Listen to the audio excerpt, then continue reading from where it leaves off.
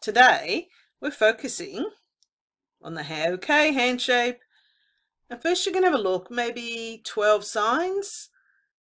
They'll be one after the other. And at the end, there'll be some pictures. So that you can have a look and work out which pictures connect back to which sign. Good luck!